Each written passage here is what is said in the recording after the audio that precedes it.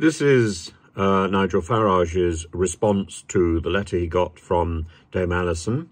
And he also ends up by pointing out that the BBC boss, Simon Jack, had dinner with Dame Alison and then came out with, the, um, or then the BBC immediately came out with the statement that uh, Farage's account had been closed because he didn't have enough money. Farage deals with all of this uh, in his programme. I must say, for once, I don't particularly care, care for Farage. I think probably he'd be quite a nice person to have dinner with or a cup of tea with. I don't like his um, views. Uh, however, I think he's absolutely right to cause a fuss about uh, his bank account being closed. And I think people should just simply close their accounts with Coutts. I, I, I'm also horrified about the huge number of people whose accounts have been closed at NatWest. I think the banks are out of control. It's not just Coutts, it's not, it's not just NatWest, it's not just uh, this Dame Alison woman. It's the whole system. And uh, the banks think that they are more important than their customers. The banks need to recognize, need to realize, need to understand they are a service industry and we are the customer. They wouldn't exist without the customer. Mm. And frankly, the uh, the, the, government obsession with us all having bank accounts is what has given them a sense of superiority. It's a sense of superiority that should be removed. Um, and I'm tired of the uh, ri ridiculous tricks that they use um, and, and these fake telephone calls uh, where they where they can leave a message saying we we called you and you didn't answer without the phone ringing and then pretend that they don't have one of those systems to be able to do that. Uh, I've had a number of messages from my bank claiming that. Uh, I don't like the deception. I don't like the superiority.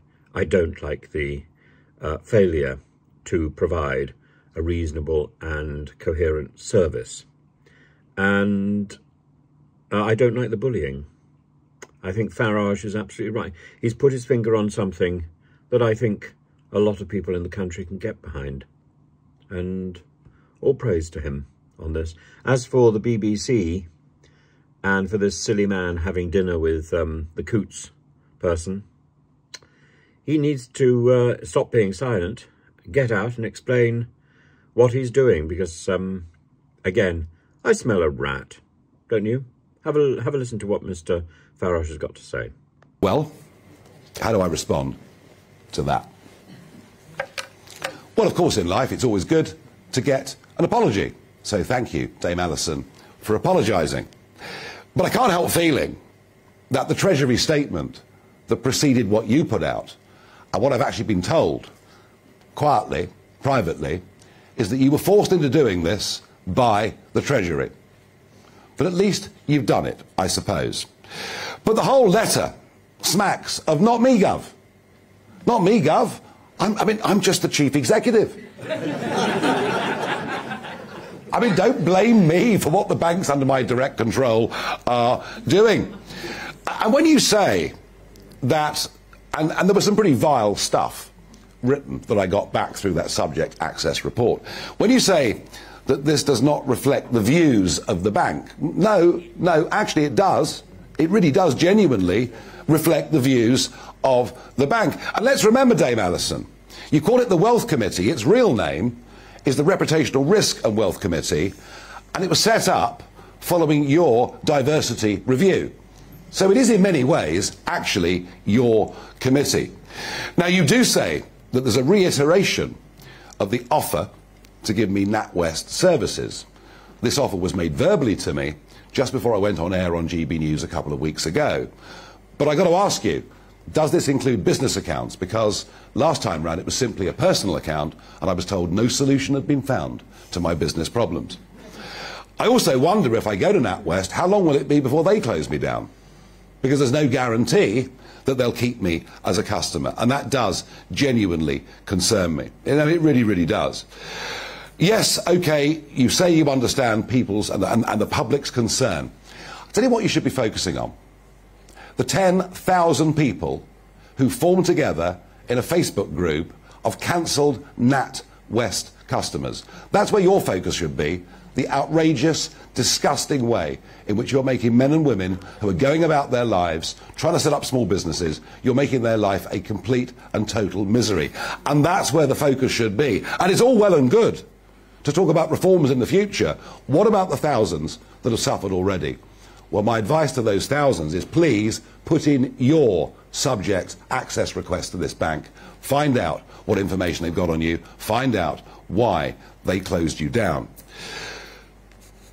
For me to go public on this is, of course, embarrassing. It's embarrassing to say publicly that your bank has shut you out. I don't know what it does to my credit rating going on from here. And also, for the contents of that subject access report, for all of those appalling, untrue, and in many cases, libelous stories that have been beaten in court to be published all over the daily newspapers. I mean, you know, it wasn't something that I enjoyed doing. Didn't enjoy it one bit. I could have just walked away, but I didn't do it because I think someone needs to be a voice for those thousands, maybe tens of thousands of people who've been treated so horrifically by the banks, including yours. Someone needs to stand up for them. Someone needs to be their champion. And I'm delighted that the Treasury and the government are acting. I hope the FCA move in short order too. Uh, but I'm afraid I can't just walk away from this. I've started this and I've got to continue. So thank you for the apology. It's a start, but it's no more than that. Oh, sorry, I almost forgot. Um, on the 3rd of July, you were having dinner sitting next to the BBC's economics correspondent, Simon Jack. and a funny thing happened, you know. At 10 o'clock the next morning, Simon Jack rang me.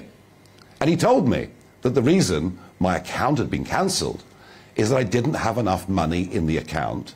And that anyway, what was the problem? Because I'd been offered NatWest accounts. The BBC put that out, and many in the media accepted that version. Mr. Jack, for some reason, seems to have gone to ground today and hasn't backtracked from it. Can I ask you, Dame Alison, was it you? Was it you that breached my private client banking confidentiality? Yeah. Was it you that told Simon Jack that?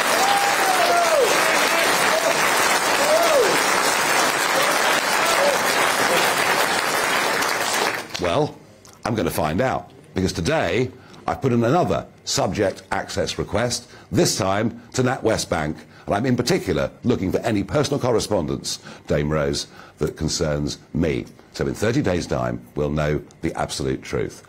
That's it from me. We'll take a short break and be back in just a moment.